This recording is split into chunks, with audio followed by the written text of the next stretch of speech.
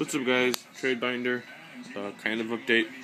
First page is always for the Fire Fist uh, Bear. I'm looking for one, need one bad for my windups. Just need one. I'm not looking for two. Two Super Photon Bouncers, Stardust, Playware, Starlight Road. Uh, we got they got the crease added, so both for 12.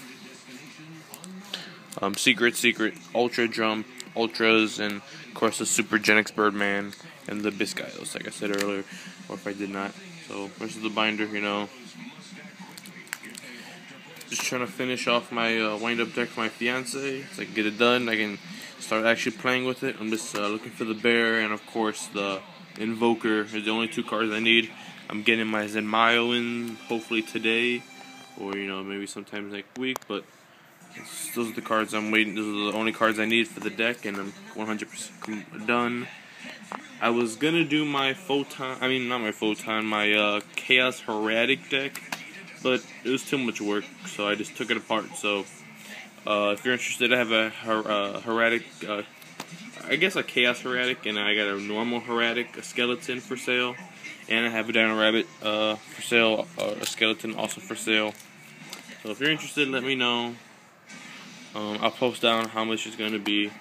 I'm just trying to get done with this video. If I'm going too fast, I'm sorry. Just pause the video or something because I don't want to make this video too long and it's going to take like forever to upload and all that.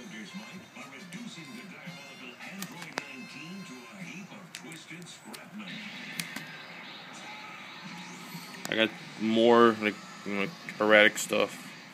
But the techniques I have are super, not not are, are rare. I mean.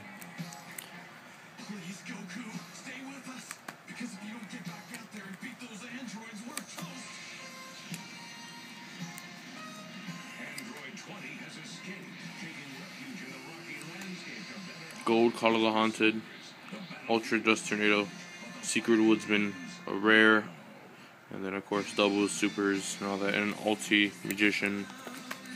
Naruto stuff, my favorite cards. Um, of course, Digimon for trade also. I will have to look up the prices. I've been slacking lately, so right now I'm gonna look up prices and post them on there so I know what they are. Alright guys, binder, all that. Want to be down below, hit me up. Catch you later.